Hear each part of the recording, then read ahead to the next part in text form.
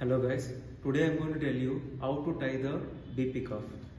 This is Riva-Rocci cuff. This entire is cloth.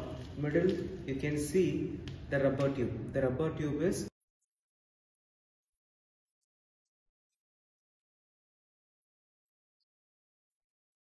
This 12 into 24 is your normal BP cuff. There are different types of Riva-Rocci cuff available for pediatric and obese patient. Today we're going to tie the Riva-Rocci cuff in the patient. So you see, you just hold the thumb and you can place the Riva-Rocci cuff in this manner and tie it. This two tube should be in the medial side. Okay. There is a cubital fossa and here you can see your brachial artery. Okay. So once you have tied, it should not be too tight. How to confirm this? Two finger above, we want to tie the cuff. Two fingers should go freely inside. Okay. Now we can see the pump.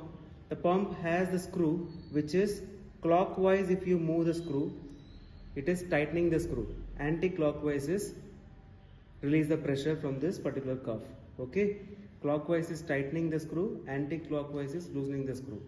Now once you tie, we gonna check the BP.